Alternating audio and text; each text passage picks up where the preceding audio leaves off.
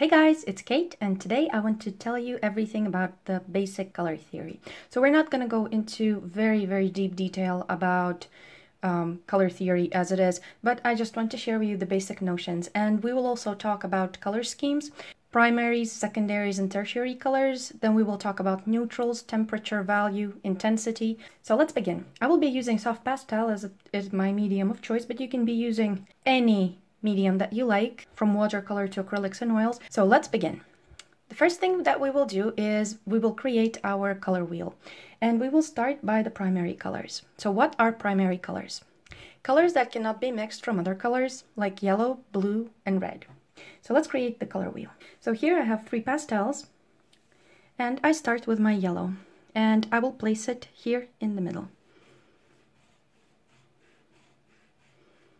So this is going to be my first primary. Now, with my red, I'm going to place it here, diagonally from the yellow.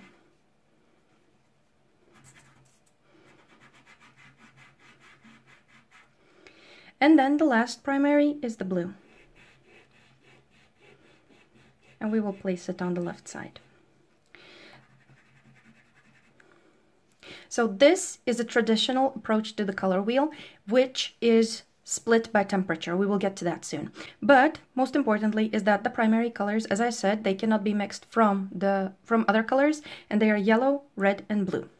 Then there is also a more uh, detailed approach. Primary should actually look like yellow, cyan, and magenta.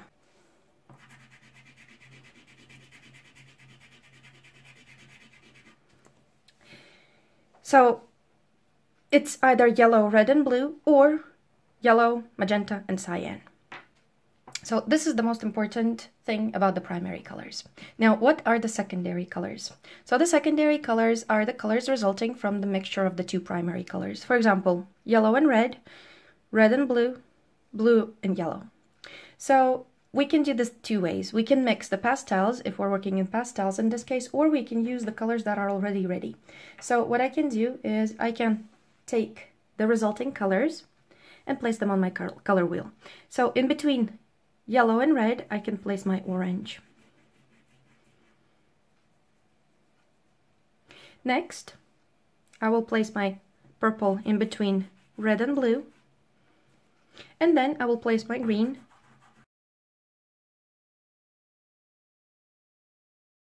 So we have the primaries, the secondaries, and now there's also such a thing called as tertiary colors. So tertiary colors result from the mixture of primary and secondary colors. So for example, if we use the same pastels that we used here, the red and the yellow, and I will apply quite a heavy layer of yellow and add just a bit of this red and mix it together so this is still an orange, but it's a more yellow orange than the mixture of the secondary color. The same goes here. I will add my red first.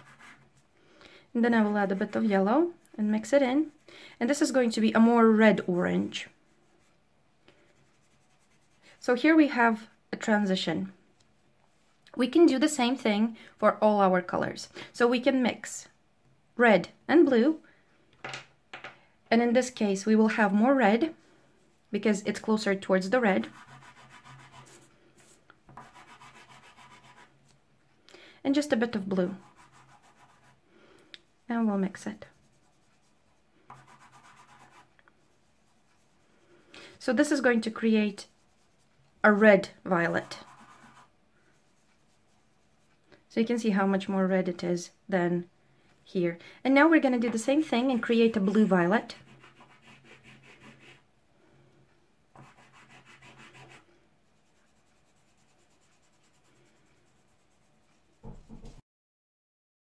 So the next thing that we do is we create the last tertiary couple and it's going to be yellow and blue. So I'm using the same yellow and I'm going to put more yellow on this side and add a bit of blue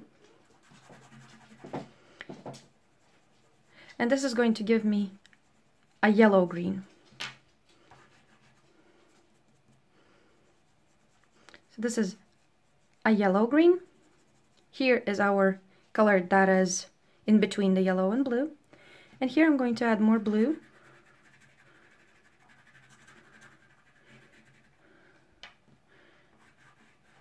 And just a bit of yellow. And this is going to be our blue-green. So here is our color wheel.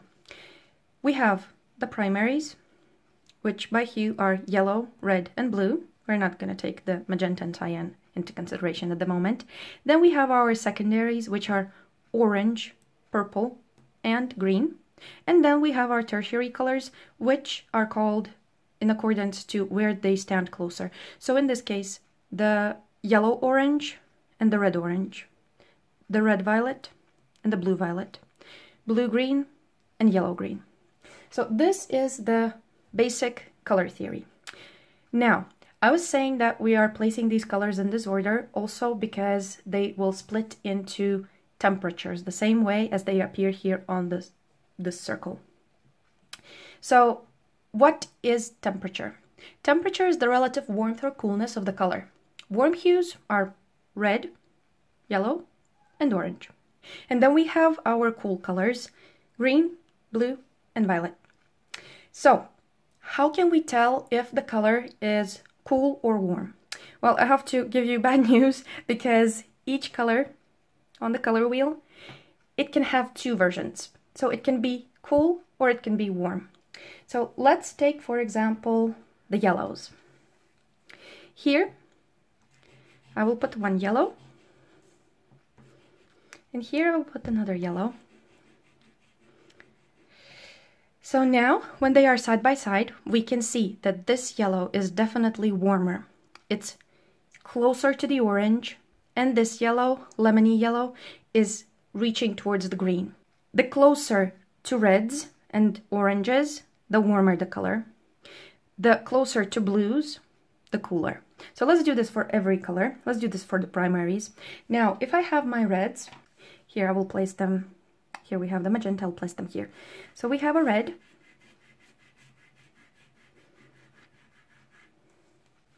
And another red near it. So let's think color-wise, where would we place them? If this one, if we take this one, it's leaning for me towards the orange. So I would place it closer here. So that would be my warm red. It's still red, but it leans towards the orange. So it's a warm red. This red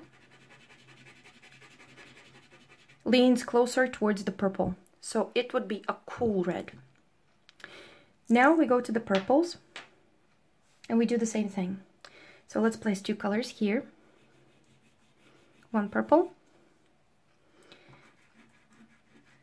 and another purple.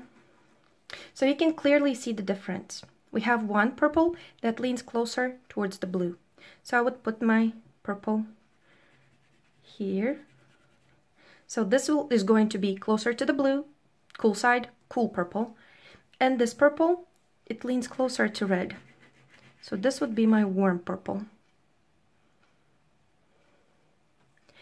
So I hope you start to understand the distinction between the cool and the warm colors because to be honest, when I started out, I kind of got a bit lost, I think, and understanding everything. But it's very easy when you have something as a reference. So if, when you have another color as a reference, when you see these colors on their own, it's very difficult to say if they are cool or warm sometimes. But when you have another color standing the same from the same color family standing next to it, you can already separate them into cool and warm, like in this case, the cooler and the warmer purples. Next, let's do the same thing for the blue, and I will be using the same blue that we used here. And let's put it here. And now let's put next to it another blue. This is a very pretty blue. So now, as we look at these two blues, we're not looking which one is darker or lighter, we're just looking at the temperature. So for me, this blue is closer towards the red. So I'm going to put it closer to the red. And this blue leans closer towards the green. So I have my warm blue and cool blue. even though blue as a color is a cool color, but at the same time, it has two versions of it. So for each color, each and every color, you can find versions of warm and cool. And now if we take a look at our color wheel again, if we divide it, imagine of drawing a line here in between. So we have the cool side of the circle and the warm side of the circle. So the yellow belongs to the warm and the blue and green and purple belong to the cool. So here we have yellow, orange and red and on the other side on the cool we have purple, blue and green. So this is the basic color theory. Now let's talk about some different aspects of color. One of them is value. So what is value? Value is the degree of lightness or darkness of the color. There are three ways to define the value. So tint is color, lightened color mixed in with white, for example. Shade, it's a mix with black, so it's a darkened color. And tone is mixes with gray. So let's start with creating our three versions of value for one color. Let's take our blue. I really like this color. So what we're going to do is we're going to create the tint, the shade, and the tone. So first we will place our blue here. Now, if I wanted to lighten this color and create a tint, I would take my white, and what I would do, first I will put my white down, and then I will add my blue and blend it in. So now you see that the color pretty much is the same blue, but it's a tint of this color. So this color is lighter if we add even more white. So now we can say that we have a tint of this blue, of this cool blue. Let's create a shade of this blue. Again, I'm putting my blue. Pastel is amazing for creating these color wheels and learning color theory because it's just so easy to maneuver and use. And now I'm going to add black to my blue. And you can still see that it's not completely black. It's a shade of the same blue. So we can add more color here, just so it's not too dark. And now the last thing is a tone. So a tone, we mix a gray color. So I'm going to use a gray pastel to our color. So again, we have the pure color, then we're mixing it in with the gray.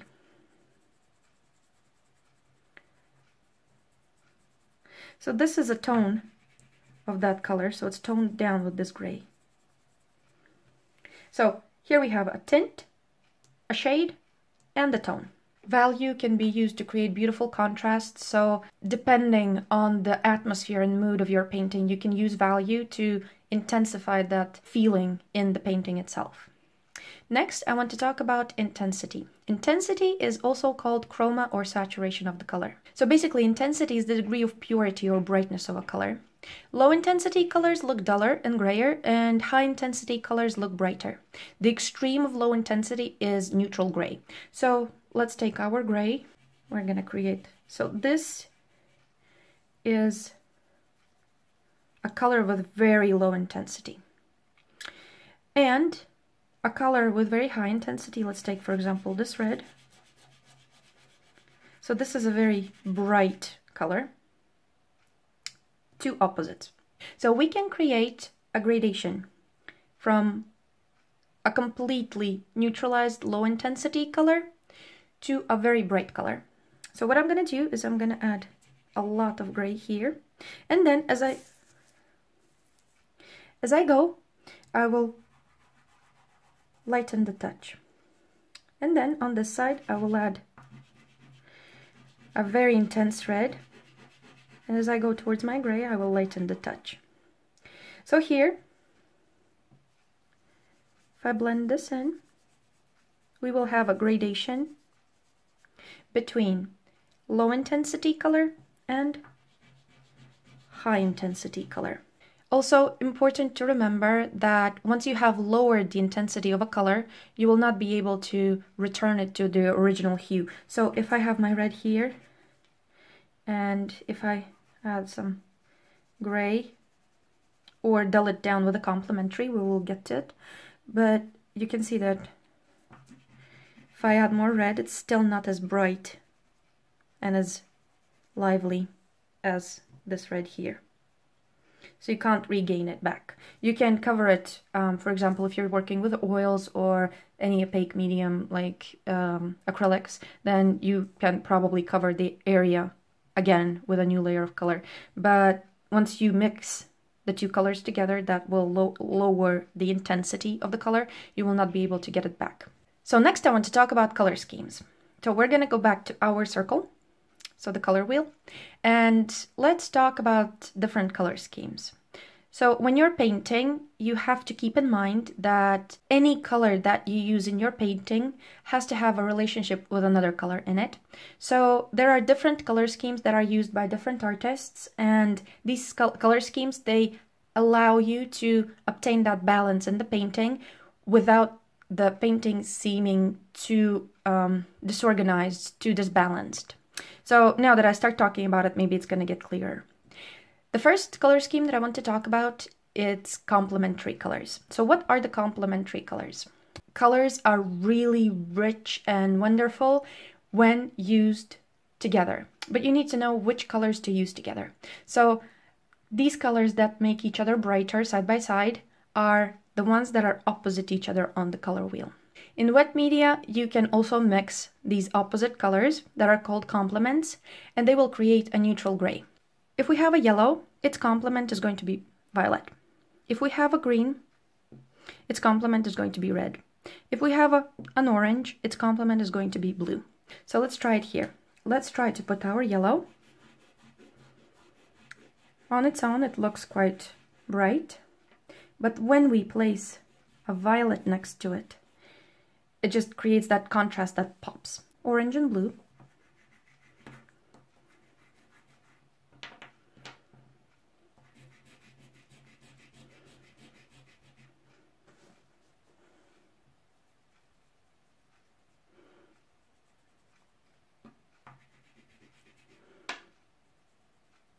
And then we also have red and green.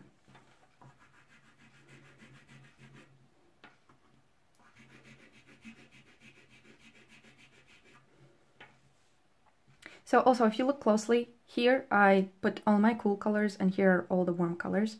But now we can also try and blend them together and you will create the, you will see that they create this kind of mud that is called a neutral color. They neutralize each other and the color becomes duller. The same goes here. So you mix violet and yellow. And the same goes here in the blue and orange. So when mixing complements, these colors will neutralize each other. And when you place the complements together next to each other, they will give a pop in your painting.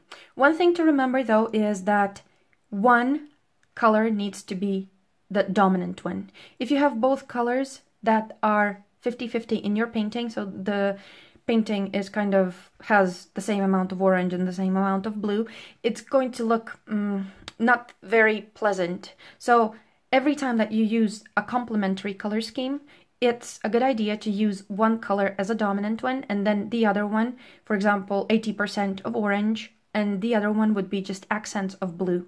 And that is going to create that pop in your painting.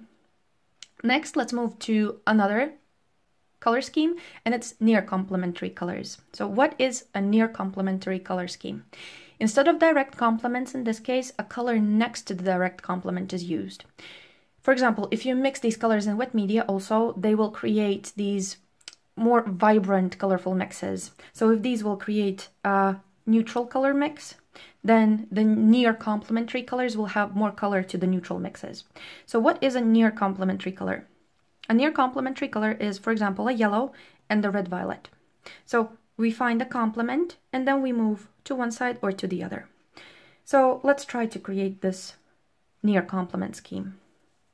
What I'm doing, I'm going to move this a bit and So if we have a yellow, and we will put our red violet next to it. So I'm putting red and then the same blue. And I'm mixing it in.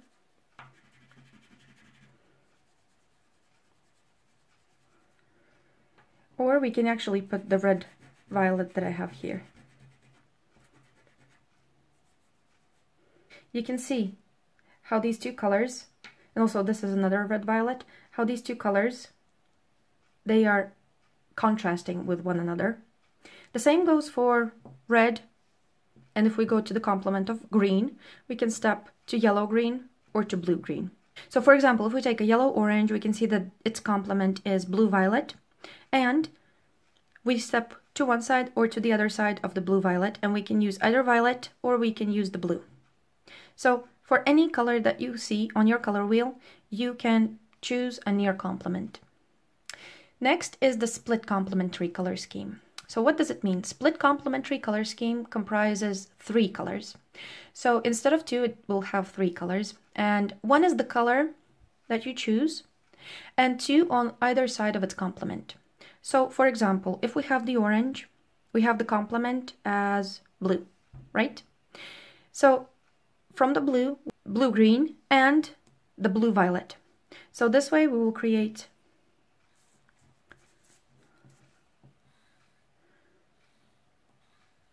a split complementary color scheme. The same thing we can do for the yellow. We have our yellow and we have our violet. So on both sides of the violet we have the blue violet and we have the red violet. And this is our split complementary color scheme. So again, very important that you choose one color to be the dominant one in your painting. For example, these two colors might be the dominant ones and the yellow can be added as accents. As I said, 80-20 relationship or even 90-10% relationship. So for each color you can find a split complementary color. So using split complementary colors will add more color to the artwork because you're using more colors and it still maintains the harmony of the painting. So it's very important to actually see the relationship between the colors. So next is analogous complementary colors. So what are the analogous complementary colors? For that, we will first have to look at the analogous colors, what those are. These are the colors that are next to each other on the color wheel. So for example, yellow, yellow-orange, and green, uh, yellow-green. So we have, these are analogous colors. Or for example, yellow-orange, orange, red-orange. So three colors are next to each other on color wheel. No matter how many colors you use, it's very important, once again, I'm stressing it, to establish the color relationship from the very beginning. Analogous complementary color schemes means that one color, let's choose yellow again, then we add its complement and two colors on each side of it. So this creates a four colors, four color color scheme. And this enhances the contrast in the artwork and it's very, again, very important to see the relationship of the colors on the color wheel. So if we take the yellow, we have the violet as its complement, and then we have the two analogous colors as two additional complements. And this is called the analogous complementary colors. So instead of just two, two colors like we had first the complementary colors, then we had the split complementary, the near complementary, and then the analogous is four colors together. So when you think about it, it's very easy to understand all of the theory um, once you actually try it out. And I suggest that you go through the video together with me, creating the color wheel and testing out your colors. It doesn't matter which media you use. If you use colored pencils or acrylics or oils, um, it's still um, color mixing and when you're actually using wet media because pastels sometimes they create muddy mixes but with pastels I tend to use the particular color of the crayon to create um, the color that I need. So I have a large collection of pastels, but with watercolor, for example, I use a limited palette and depending on the color wheel, I can create most vibrant mixes when I need them and the dullest mixes when I need them. So one last thing that I wanted to say is that when you create mixes in wet media, for example, not talking about pastels, but when you are mixing to create the most colorful, most vibrant mixes, especially for example, watercolor acrylics, you have to mix the colors that are closer to each other. So what I mean by closer to each other is if I want to mix a vibrant orange, I will take a warm yellow and I will take a warm red. If I mix the warm yellow and the warm red, they are closer together on the color wheel than cold yellow and cool yellow and cool red. These will create a very vibrant mix. If I were to use my warm yellow and my cool red, it would create a duller mix, so not as vibrant. The same goes for any color. When you look at the position of these colors, if you want to create a very vibrant violet, you use your cool red because it's closer to the blue and your warm red. This will create the brightest, most vibrant violet. If you need to dial it down, you can warm your cool red or your warm red with a cool blue or your warm red with a warm blue. So this is going to create a duller violet. And again, to create vibrant greens, you use your cool yellow because it's closer to blue, right? And your cool blue because it's closer to yellow. And this way you will create the most vibrant greens. Again, if you want to, a duller green, if you're painting landscapes, for example, you can use your warm yellow and your cool blue or your warm blue. It doesn't matter because already this color is further away. I hope you found this video very insightful and if you have any questions I will be really happy to answer them. Let me know if you would like to know about something else regarding art and color theory. Also, I have different tutorials on my Patreon channel and here on YouTube, so check those out if you're working with pastels because I'm in love with pastels. And I have also different artsy vlog entries on my YouTube channel as well where you can learn about what it is and how it is to be an artist. So I thank you for watching this video. I hope you watched it until the end, and if you did, I would really appreciate it if you could click that like button down there. And yeah, leave me a comment if you have any questions or if you enjoyed the video. I would really appreciate that. So this is it for now. Thank you for watching, and I will see you in the next video. Bye!